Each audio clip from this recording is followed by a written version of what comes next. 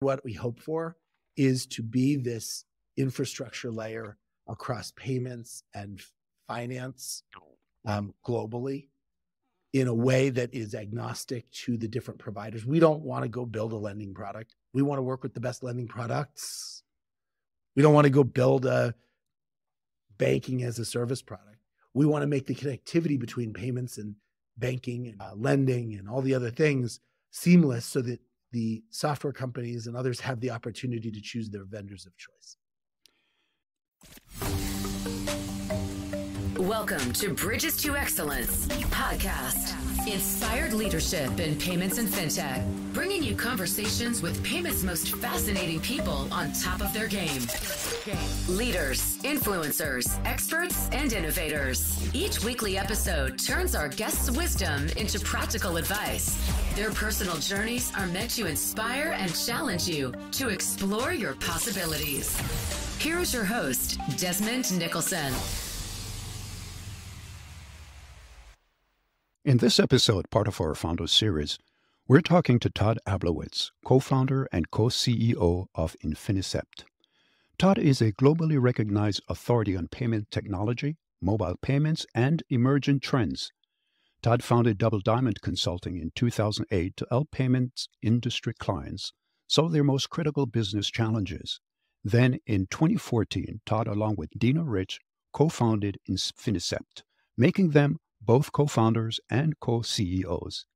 Infinicept provides tools and services that enable companies to get payments going their way. As a well respected thought leader in the industry, investors, media, analysts, and industry watchers rely on Todd for expert advice, trend insights, and consulting. He has written articles and spoken about topics such as how embedded finance is changing the way financial services are delivered and why openness and transparency are good business. Since 2020, Infinicept has experienced exponential growth, tapping into the embedded finance market, which is projected to reach $585 billion by 2030. Todd will be taking us on his journey perseverance, setbacks, dogged determination, transforming into the entrepreneur he has become. And of course, sharing with us along the way insightful, actionable takeaways. So stay with us.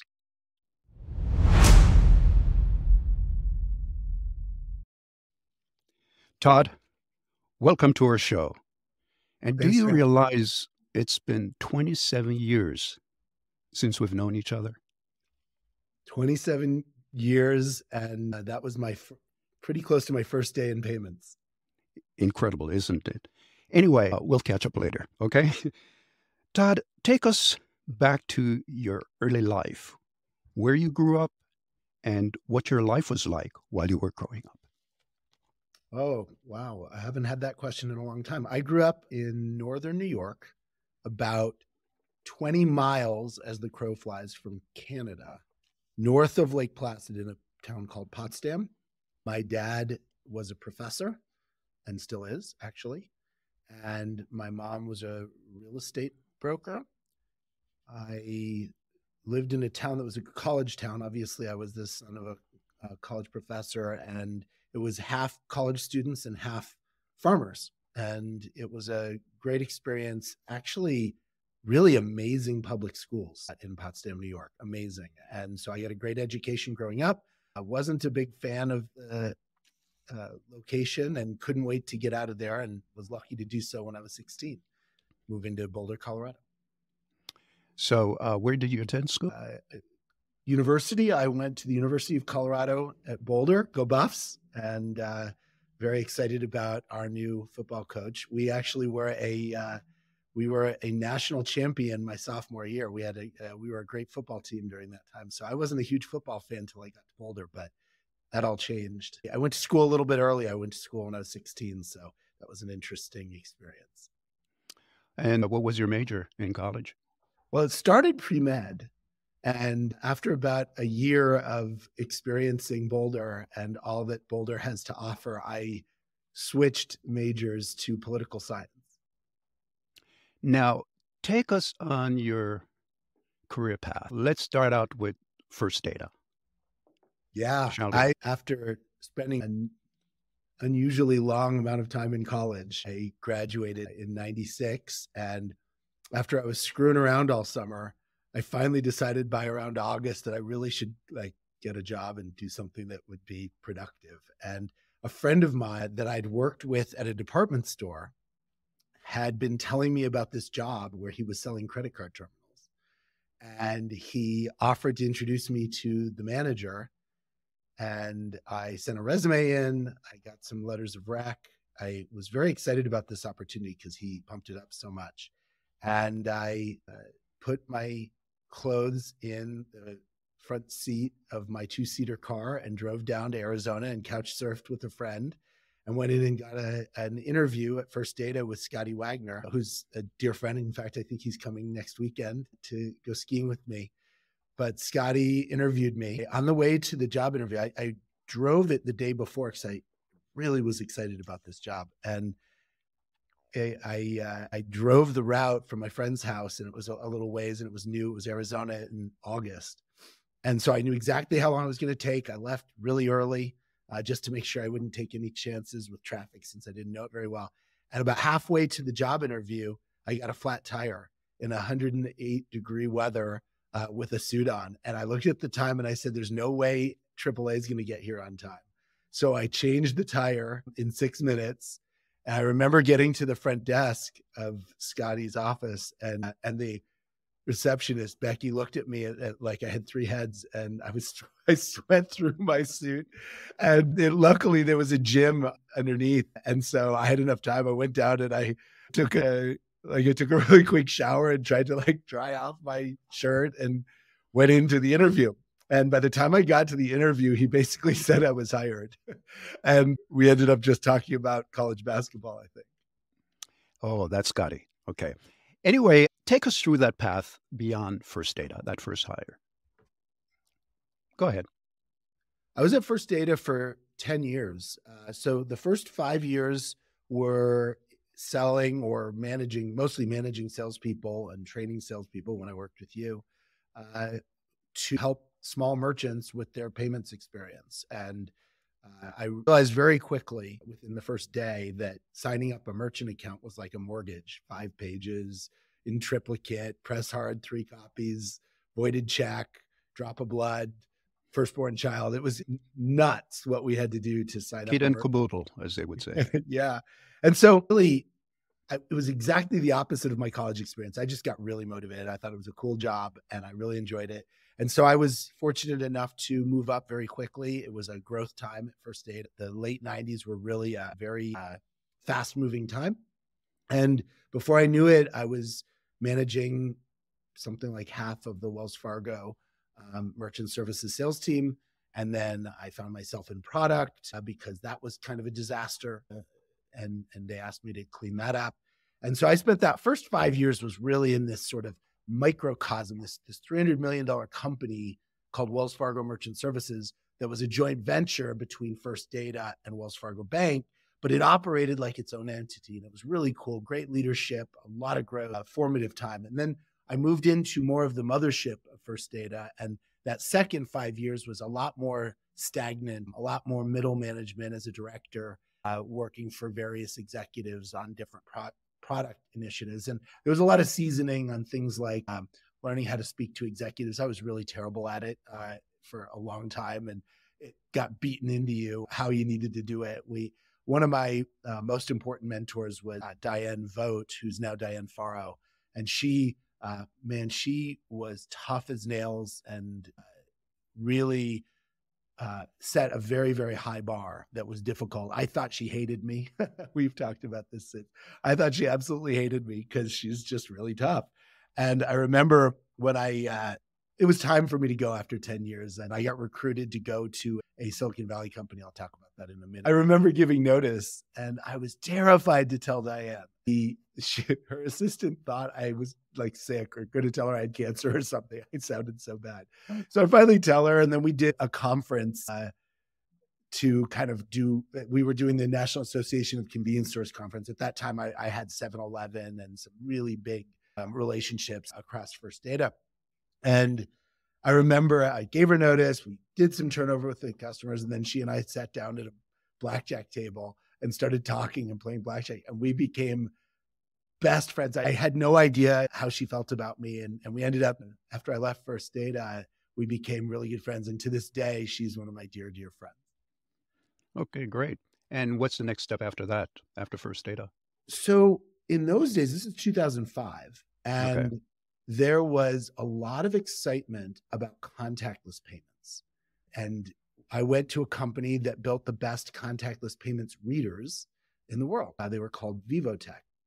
And we built contactless payment readers about 10 years, it turns out, before anyone needed them. Uh, but Visa and MasterCard were populating them into the marketplace.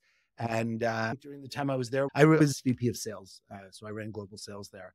And I think we sold 750,000 readers in 29 countries during the three years I was there.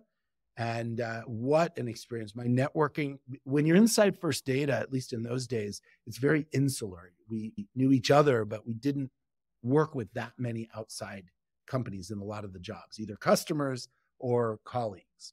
And uh, Vivotech was the exact opposite. I had to meet the top brass from every single uh, merchant acquirer, not only in the US, but many of them around the world, with a focus on the US.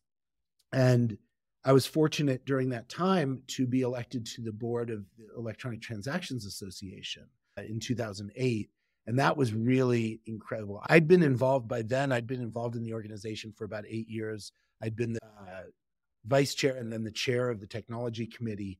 And that was a huge way for me to get to know people in the industry, make a difference. We started the Technology Innovation Award when I was chair of the tech committee, and that, that lives on to this day. We really wanted to do something that would endure. So, anyway, I uh, was able to broaden my network during those three years. And then what ended up happening was you may have heard that there was a minor financial disturbance in 2008. And uh, that really put a bullet in Visa and Mastercard populating the, the, readers. So when you when you need to get acceptance of a new payment modality, you have to drive acceptance so that when someone gets issued the card, they can use it. And so Visa and Mastercard stalled on their acceptance drive in the U.S. because of the recession and budgets and whatnot. And so that really put pressure on Vivotech. And and I got fired, well, laid off, whatever you call it, because it was my fault that, that I, I joke about that. of um, course. Um, but really cherished that time. I worked with another mentor of mine, Mohammed Khan. They call him now the godfather of NFC, which is the broader technology around contactless. And I learned more from Khan. He was a software engineer who learned how to do sales and business development. And I learned more from that man than I can possibly tell you. Okay, and let's not downplay this. In 2010, you were awarded uh, the Member of the Year at ETA. Okay. Now, great organiza- it's a great organization. I'm sure I'll talk about it again during the. Sure. Then, of course, you got into or you founded Double Diamond. What was that about?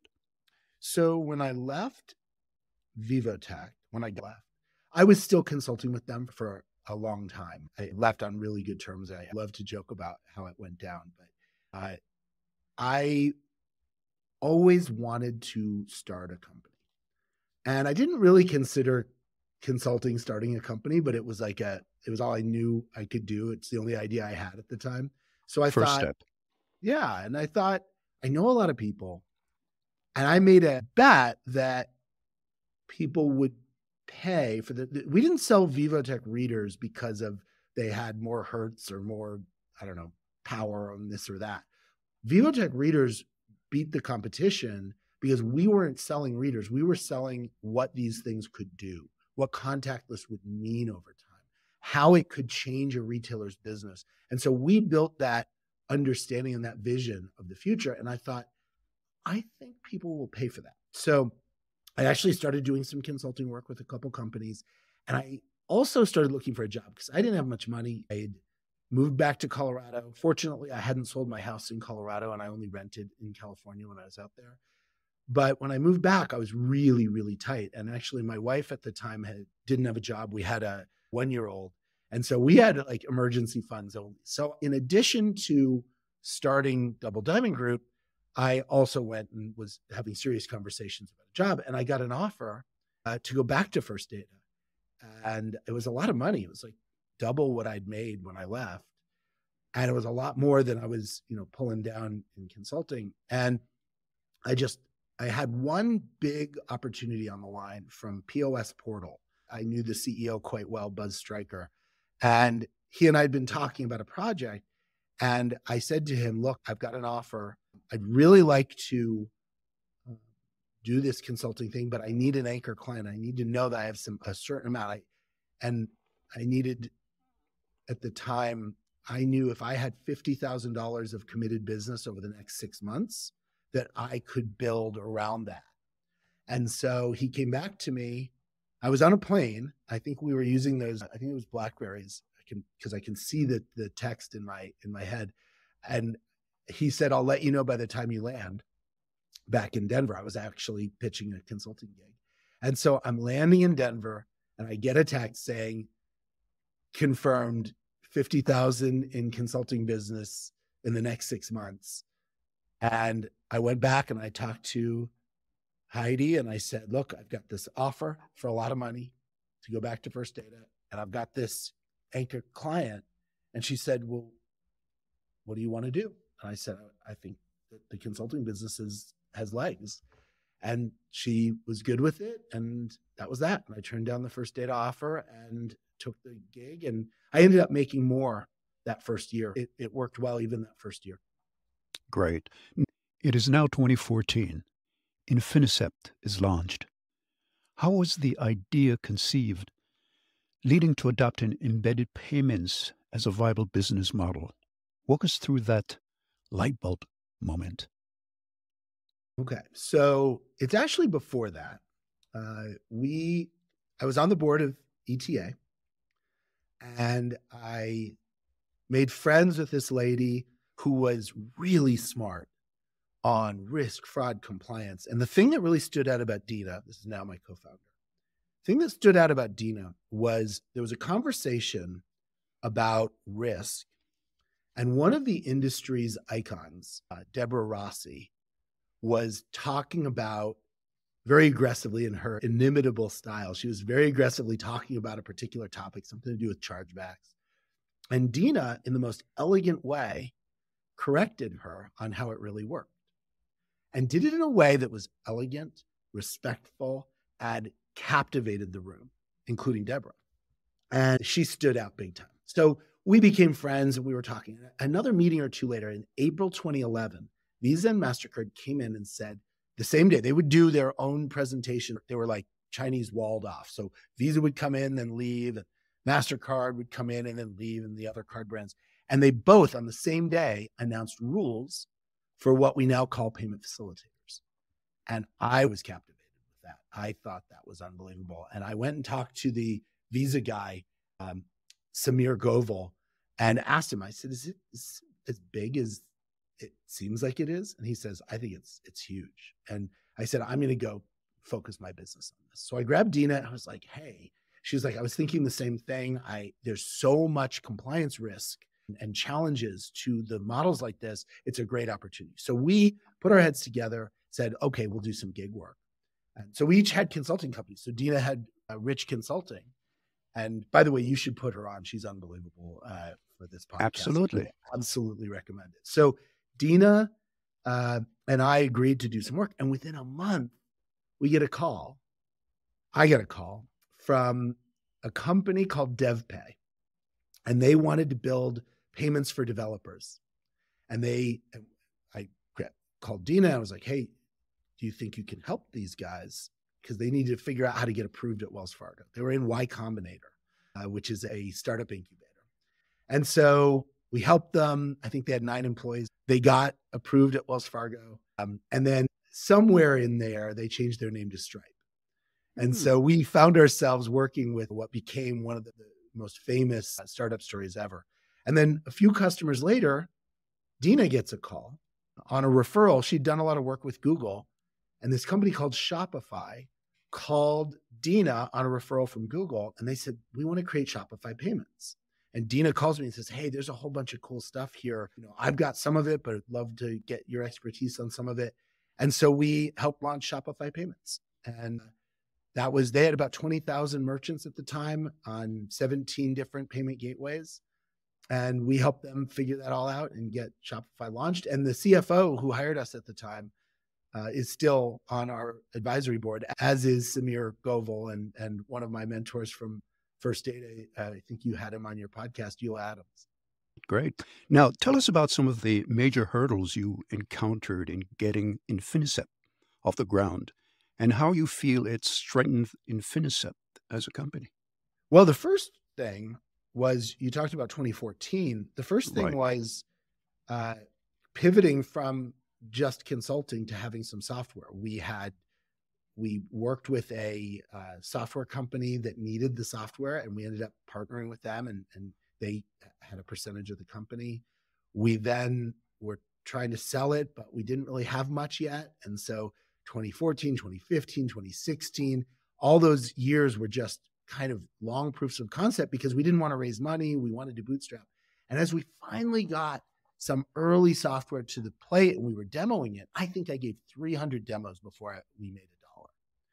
And we showed it to this guy, Henry Helgeson, who was the founder and CEO of Cayan, which is a huge payments company, sold for a billion dollars later to TSYS. He said, Look, I'm busy with some things right now, so I can't buy your software, but I'd love to invest. And so the first thing, Deana and I looked at each other and said, We're bootstrappers, but we know and trust Henry. And the first hurdle was the hurdle of taking other people's money. But that's what got us off the ground. And we, we uh, raised some money from Henry, and then he brought a couple friends in that are industry icon uh, in the investing world and hiring those first few people. And then um, there have been so many hurdles. This one might take a minute. We getting from you know the first couple of people to around when we as we got to about six people we had to start having meetings. And i mean most of the people that worked for us were quite a bit younger than us and used to a an asynchronous engineering culture. And we were losing the thread some of the time by not talking ever. And so we had to start doing meetings. And that was interesting.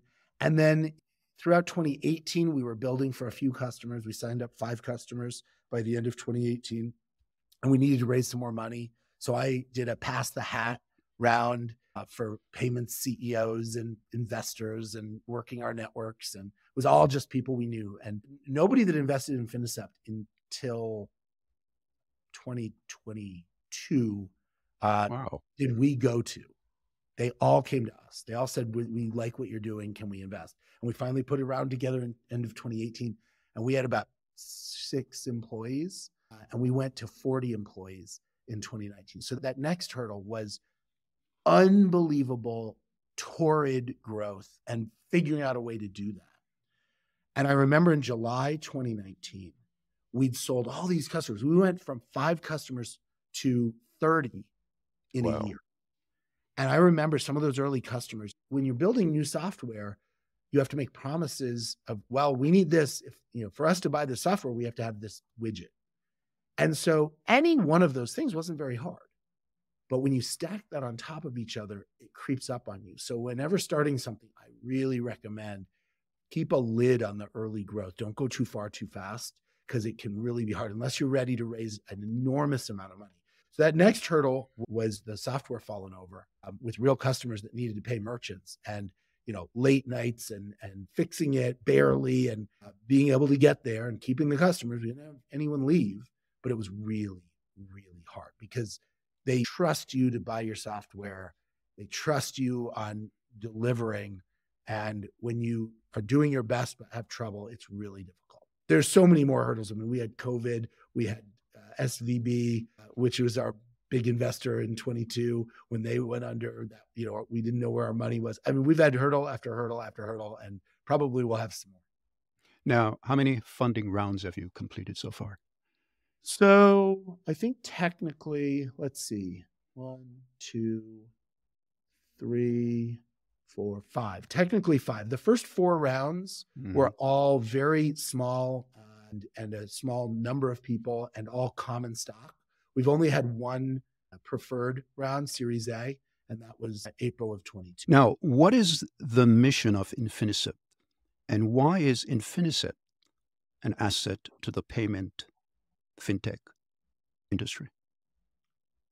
So, our mission is to drive the transformation to software led payments. That's our mission.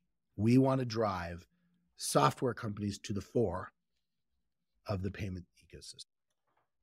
So, the biggest reason we're an asset to the payments and fintech space is we believe in openness, transparency, fairness, integrity. And that's not been the history in electronic payments, unfortunately.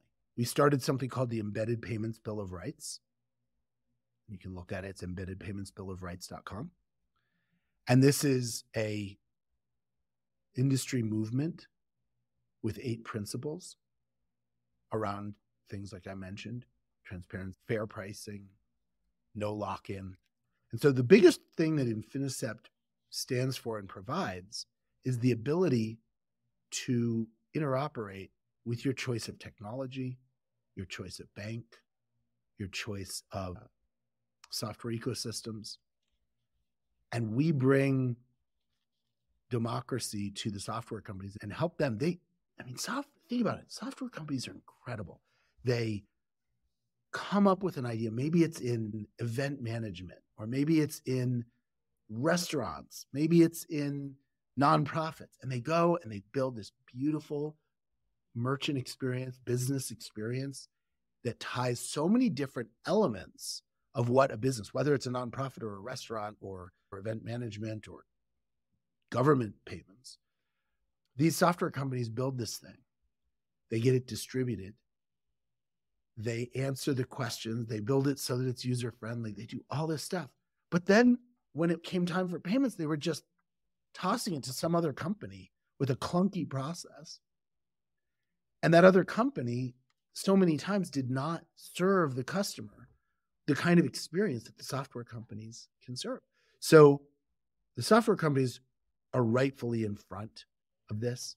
The software companies are rightfully the ones to take payments to the next level.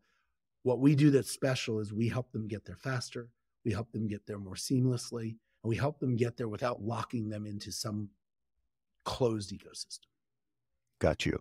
Now, let's talk about a customer. You could pick any customer who has become a payment facilitator on top of your platform. Let's focus on use case scenario and talk about the before and after. Yeah. One of my favorite customers is a company called WorkWave. WorkWave has the majority market share in field service management for recurring services. So, for example, the so called green industries that's pest control, lawn care, they have janitorial services, etc. So they were in a referral agreement with a major processor. The customers were complaining. They had a statement that said the processor's name.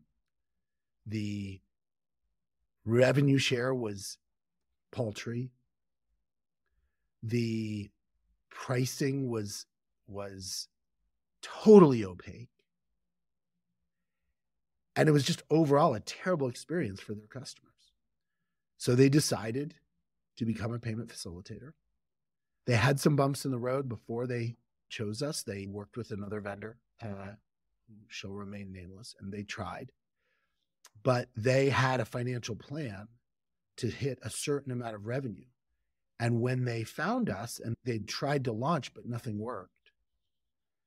And when they found us in the fall of 2019, they were in a tough spot. And I remember when we finally were getting close to signing an agreement, keep in mind, we just gotten from five customers to 30. Mm-hmm. And they were the last agreement we signed before COVID. And when the CEO called me and said, I want to do a top to top, I want to make sure. He also wanted to grind me down for a better price.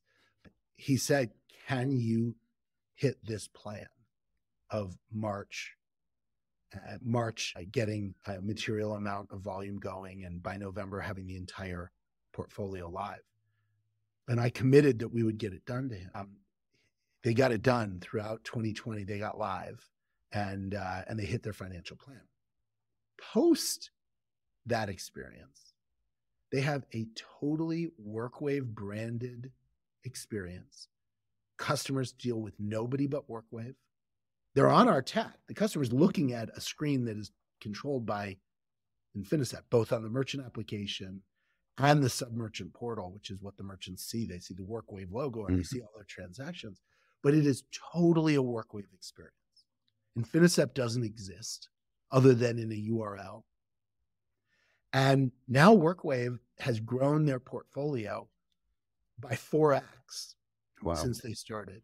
They're making significant income and their merchants love it. They added ACH. They've got check conversion, or it's not conversion. What do you call it? Check deposit, remote uh, check deposit. They've been doing things with finance, and it's all on WorkWave Payments, which is a really an admirable example. I don't, I won't give their volume. I don't know if they talk sure. about it publicly, but it is billions and billions of payments volume um, per year. Excellent. What are Infinicept core values and how are they reinforced in the workplace? So we have five core values and we talk about them all the time. They're extremely important to us, and everything we do revolves around our core values. So the first one is have integrity. The second one is do the right thing. The third one is act like an adult. The fourth one is be excellent because perfect is impossible. And the fifth one, everyone's favorite, is eat and drink well.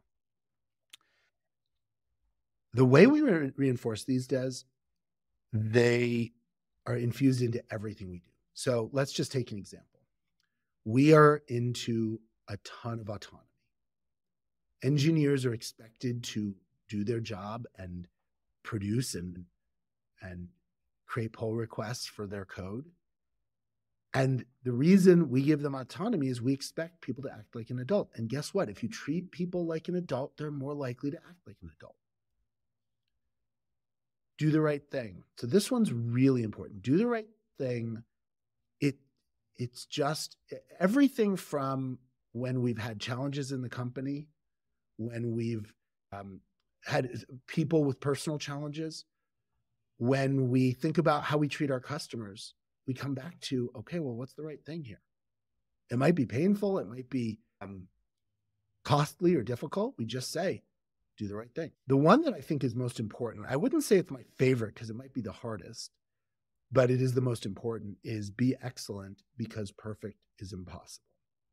And what that means to me is so often we find ourselves at the first part, sure, be excellent. That's easy, right?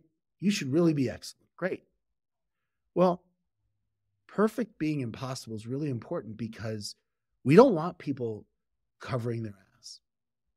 We don't want people saying, well, the reason I did this thing was because I thought this and I thought that. And I was thinking, doesn't matter. If you made a mistake, you made a mistake. You're not perfect. Let's just get that right there in the middle of the table. I fucked up. I do it all the time, multiple times a day. And putting that out there and saying, let's be transparent that we screwed up on something. It's fine. Let's own it. Let's not get into a whole bunch of noise around why it wasn't really a screw up or covering up that it was. We just screwed up. It's fine. People do it like multiple times a day. So that one's really important to me personally because I find myself, if I'm trying to be perfect, defensive. And that has, there's no room for that in life or in business. We should just recognize that we're fallible and we got to just keep getting better. Absolutely. Now, transparency is one of the key pillars in building a strong culture in your organization. What kind of feedback mechanism you have in place to make it work? Well, it's it's infused in everything we do. So we have regular communication. We are transparent with our financials. We're transparent with how the business is going, whether it's going well or at that particular time not going so well. We're transparent about our new sales. We're transparent about how many employees are doing what, uh, changes in the organization, everything.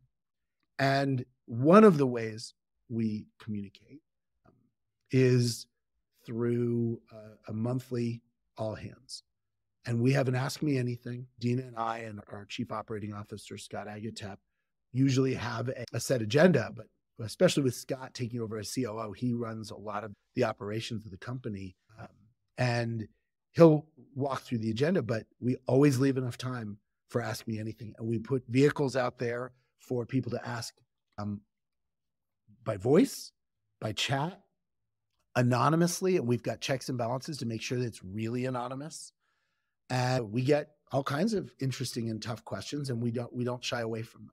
And that kind of transparency has built a culture. And, look, we, we always can get better, and and we always encourage our employees to tell us how to be better. But I believe that the employee base trusts us uh, to do the right thing, trusts us to tell them the truth and be transparent. And that's because we've done so in good times and bad. Our one of our we have something on podcasts like this we talk about so many things, but one of the principles that's really important is employees come first. If you treat your employees really well, they will treat your customers really well.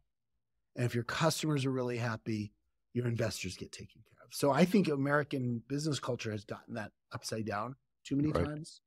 And I just think that if we just do our basic job every day, then the investors will get taken care of. I guess it's that employee first mentality. Absolutely. And it shows, case in point. In January, Infinicept was honored by Built In as their 2023 Best Place to Work Awards, ranking 15th on the best mid-sized places to work, Colorado. Congratulations. Thanks, Des. As uh, co CEOs, how do you and Deana divvy up your responsibilities? That is such a great question. I have to tell you, I was not a believer in co CEOs before we before we met. I thought, well, there's one president. How are you going to have two bosses? Like who? How do you break ties? Who's going to do what? And it turns out in that time during 2019, where everything was going really quickly, we were stepping all over each other. Not in a bad way. Our trust and commitment to our partnership is unparalleled. I've never seen anything like it. She she's ride or die in terms of a business partnership. And we found ourselves making decisions that the other person had made the opposite decision or just stepping all over each other because when we were just partners, we just talked about stuff and made decisions. So we hired a coach, a professional coach to help us through like, okay, how do we divvy it up? And we became extremely uh, precise and specific about who does what. And basically, I do go to market and Deana does fulfillment. So I looked after everything from marketing, demand gen, business development, sales. At the beginning, that included product. And then Deana looked after engineering, consulting, customer support. Oh, I also had customer success in those days. And then Deana looked after customer support and and all of the serving of the demand that was that was generated. And then then we evolved. We realized that keeping product and engineering on opposite sides was not healthy for the company. So we moved product to where it belonged uh, in Deana's organization.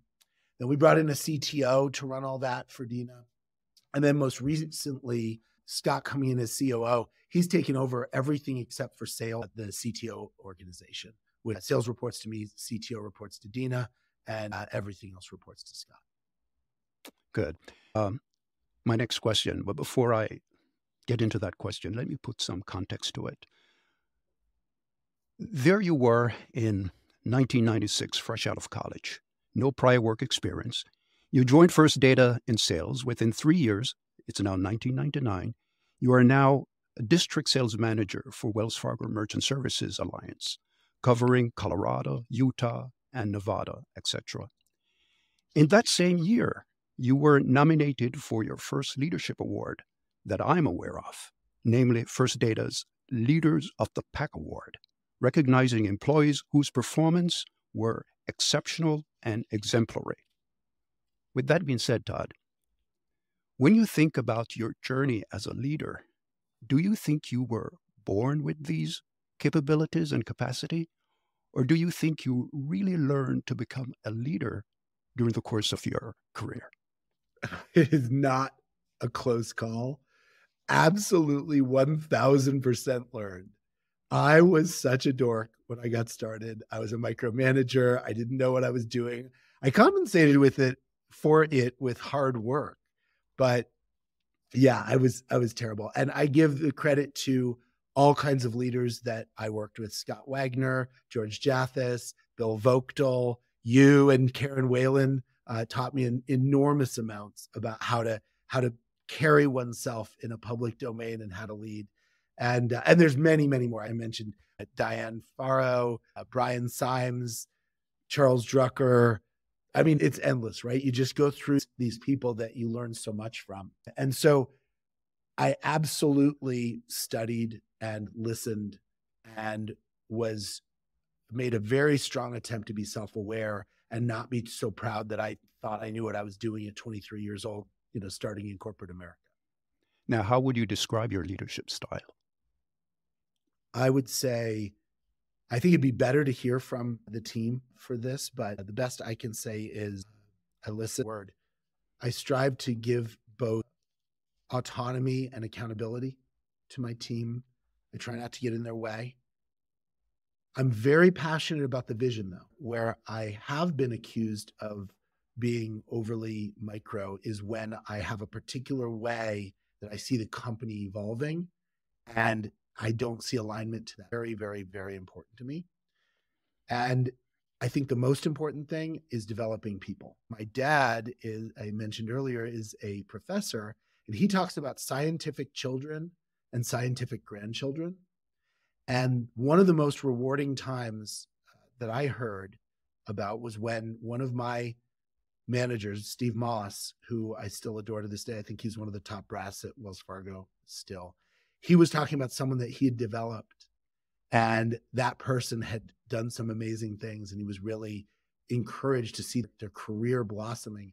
And I think of that example where you've developed someone and then they go on to develop someone and, and you're passing down this business leadership through the generations uh, metaphorically speaking so that that's really i think a great way to, to look at how to be a good leader now over the years ceos and business leaders have shared their thoughts on the phrase work life balance what does that mean to you or would you phrase it differently yeah um, I think everybody's got to, I think you got to do you on these things. And, and it changes throughout your story arc.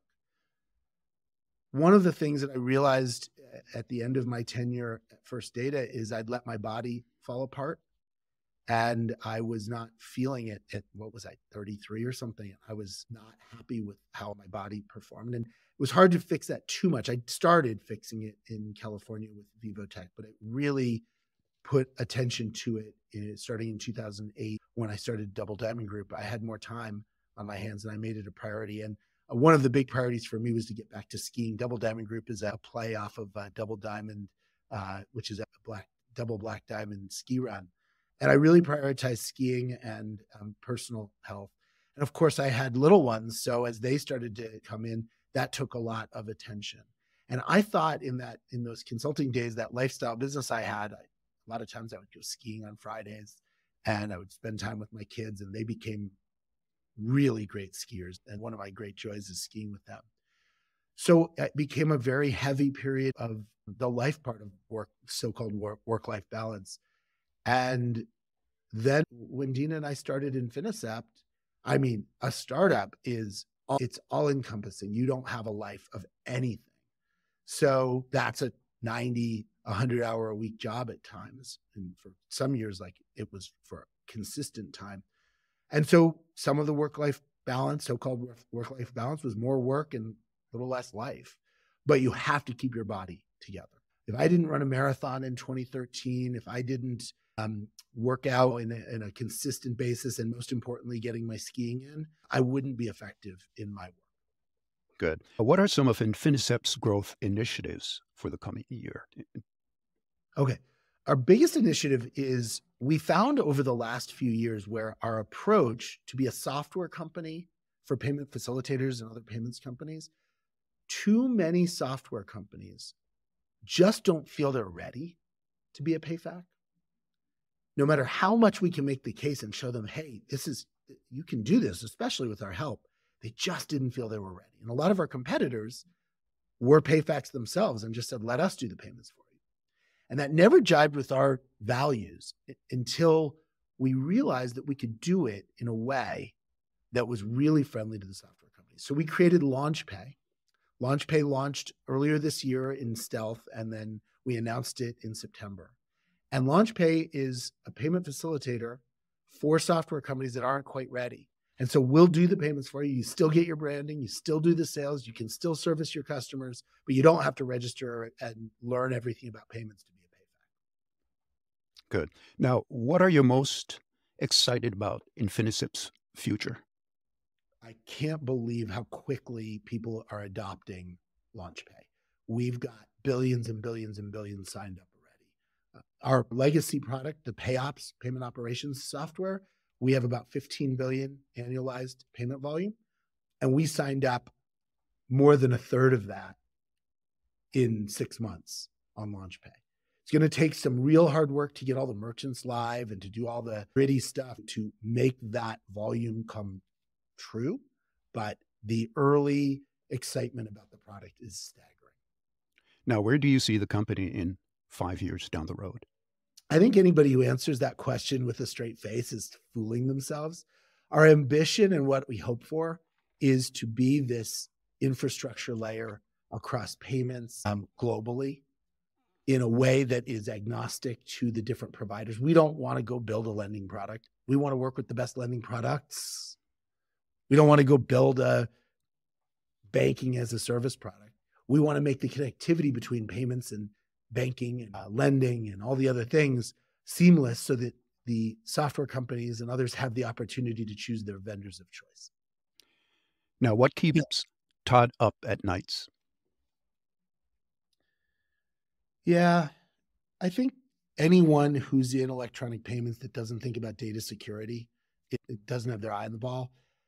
But I think the biggest thing I think about is you know, we have more than 60 families at Infinicept. And the thing that I think keeps me up the most at night is making sure that we do the right things, make the right decisions, and bring the business where it needs to go to make sure that those families can uh, thrive and uh, achieve their objectives. And part of that is your job and your financial uh, wherewithal. What aspect of your personality do you think has been the most helpful in your career, Todd? I think kindness. I think uh, I have always tried to be there for people, and uh, it's paid back way more than I would have imagined. And I want to double down on that. The law of reciprocity, indeed. Now, fintech is one of the hottest areas of innovation right now. Where do you see opportunities? And where would you steer new entrepreneurs to look for problems to solve? Well, within payments, I get very excited about PayFac, of course.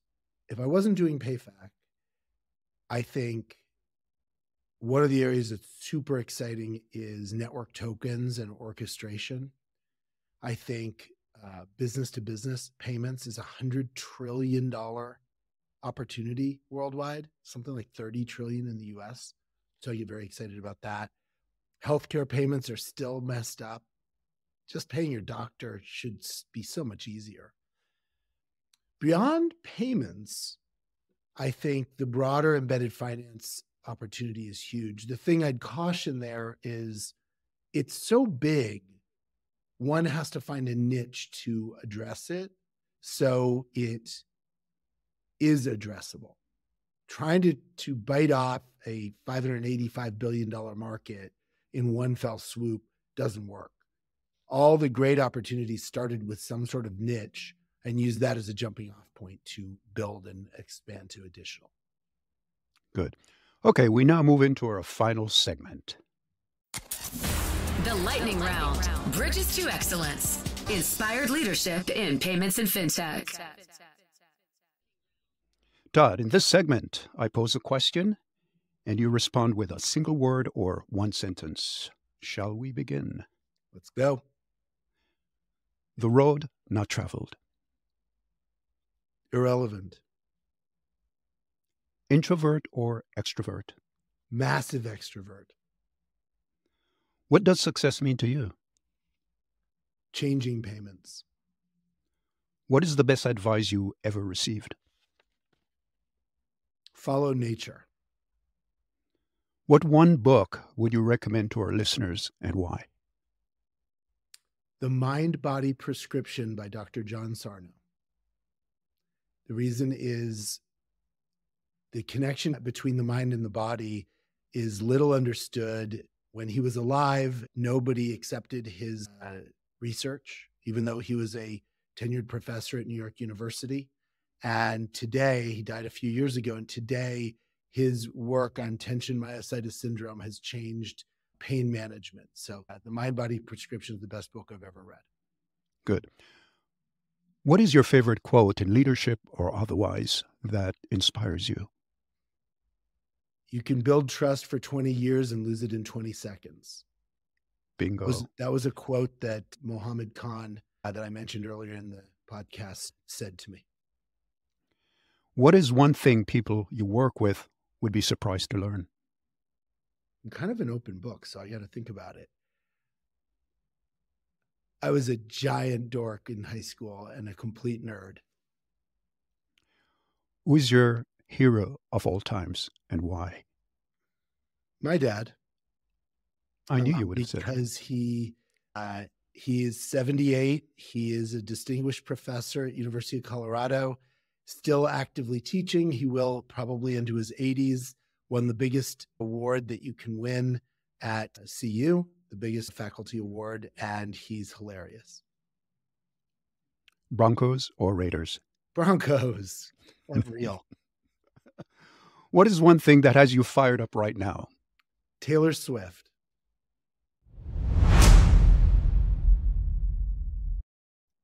Todd, it's been great catching up with you. And thanks for the invaluable insights and sharing your journey. And for that, we're grateful. Any parting thoughts to share or comments before we wrap up? I just want to say thank you for everything you taught me and for the time we spent together all those years ago. I use the things I've learned from your coaching and tutelage uh, to this day. Well, thank you, my friend, for being on our show. And to our listeners, as always, thank you for your time. And Todd, do give my regards to Deana, will you? Will do. And never forget the more you expect from yourself, the more you excel. You've been listening to Bridges to Excellence podcast. Inspired leadership in payments and fintech. Be sure to join us next time for more conversations with another of your colleagues in payments and fintech. Insightful conversations in their journey to excellence. For transcripts and other materials covered on the show, visit us at desmondnicholson.com.